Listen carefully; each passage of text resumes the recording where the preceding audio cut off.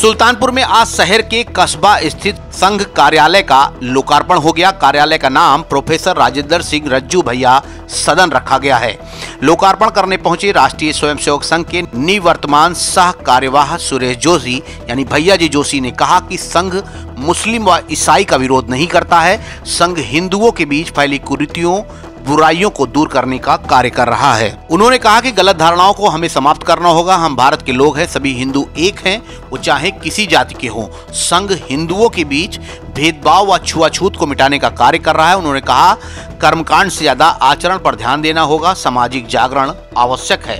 भैया जी जोशी ने आगे कहा कि विभाजन के बाद पाक के 25 साल के भीतर दो टुकड़े हो गए।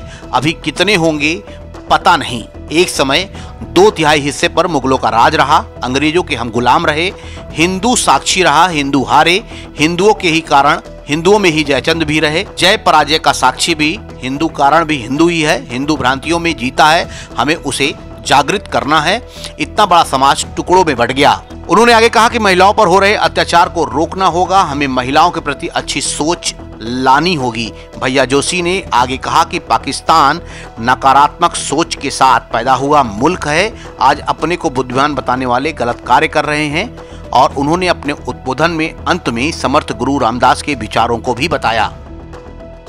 सुल्तानपुर से नाव 44 के लिए अजहर अब्बास की रिपोर्ट। सुल्तानपुर और अमेठी की सबसे पहले और सबसे तेज